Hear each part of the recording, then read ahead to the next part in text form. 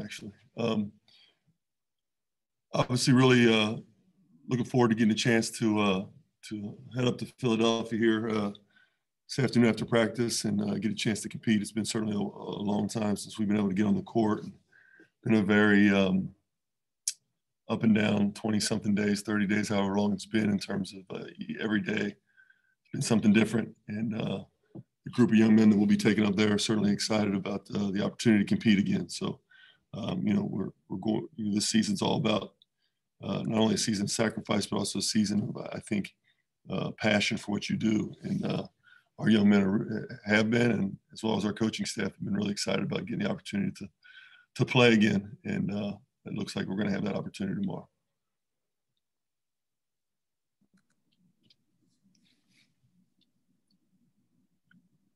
I'll take questions now.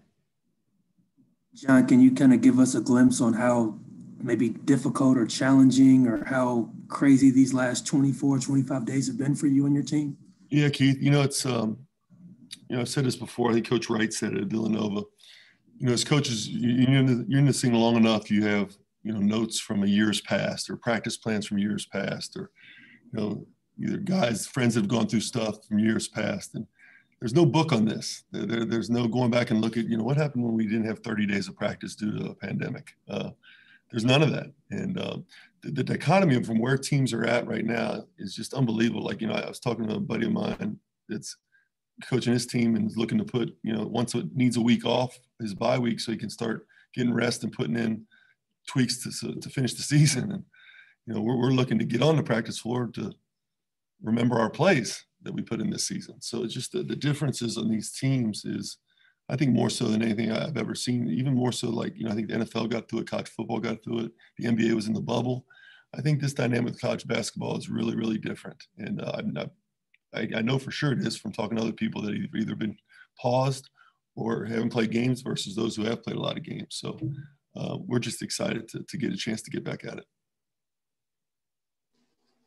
John, how much of the last couple days getting back to practice been essentially starting over?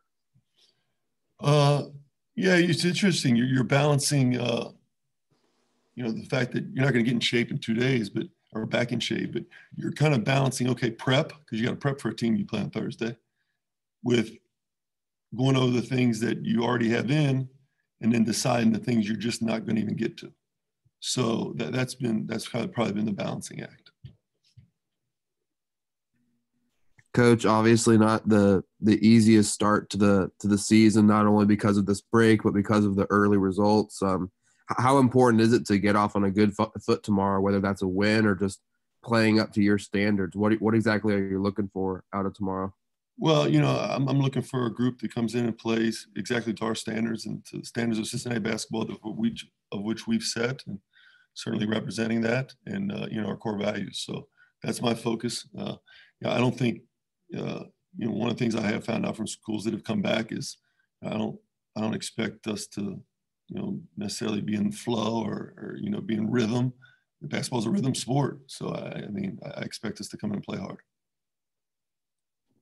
Coach, I know you can't give too much specifics, but what can you tell us about player availability you've had in practice of late and, and maybe what you're looking at for Thursday?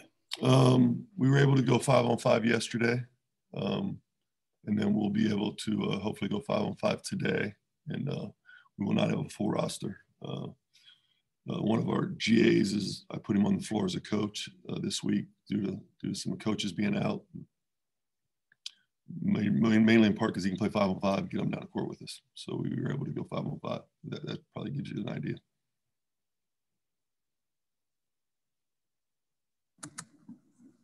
How many more games uh, do you see you guys playing this season?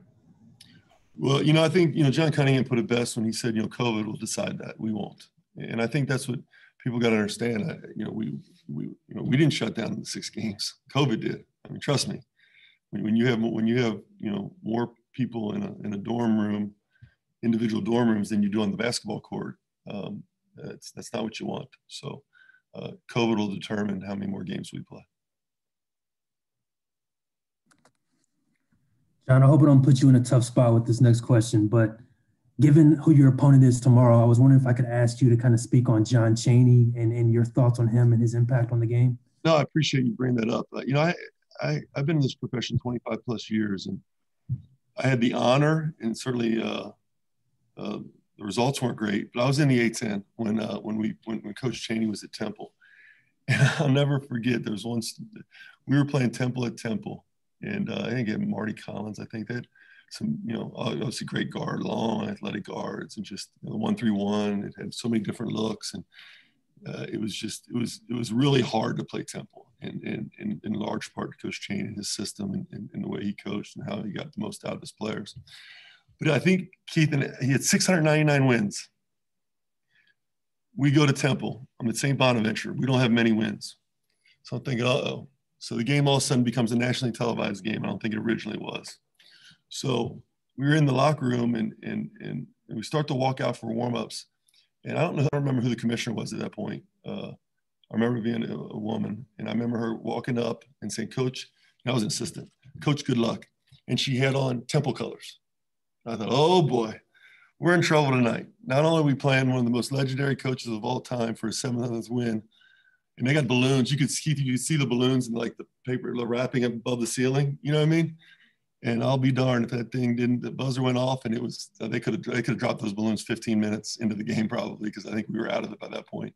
And uh, Coach Chaney, you know, he had a he had a just a, a, a smile that could light up a room, and uh, was always very gracious with his time to to coaches and fans. Uh, and uh, I'll never forget, he was smiling ear to ear going through that going through that line. And you know, for me, just being a young assistant was an it was an honor to to get a chance to say you're on the same floor as him. And uh, I get to say I was the losing, I was a part of the losing team for his 700th. With the numbers situation, um, do you expect any walk-ons playing tomorrow? I do. Um, who you know, who, you know, we haven't seen them play a ton. You know, who should we watch out for, and, and kind of what do you have there? Um, yeah, I'd love to tell you that, but I've already told you enough, and sure you're not the only one watching this news conference right now. So uh, we'll, uh, we'll I would expect some walk-ons to play.